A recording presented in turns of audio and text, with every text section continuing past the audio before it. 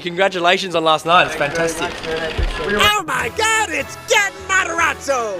The kid from Stranger Things, hot off his big win for Best Drama Ensemble at the SAG Awards. So, can he solve the mystery about last night's strangest thing? Yes, it's. So Stranger Things won Best Drama Ensemble at the SAG Awards, and while the cast was on stage, uh, David Harbour, who plays the sheriff, was doing this whole big speech, but the only thing anybody could look at was Winona Ryder. This award from you.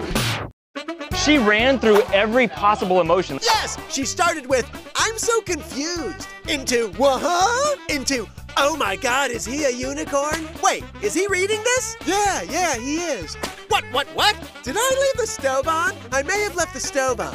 Okay, now I'll cheer. No, maybe not. No, what? Okay, sure, yeah, yes, yes! Okay, so what the hell was this about? What was with Winona's faces?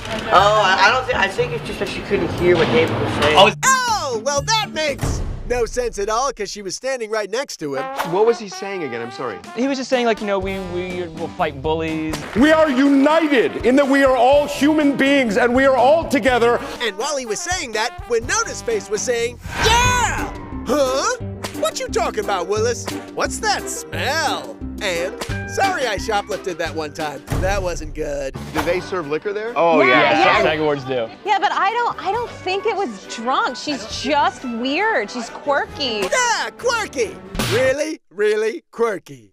So, congratulations on your win, Gaten. yeah, it was awesome.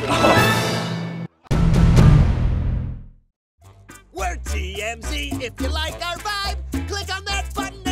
subscribe. We'll send you more.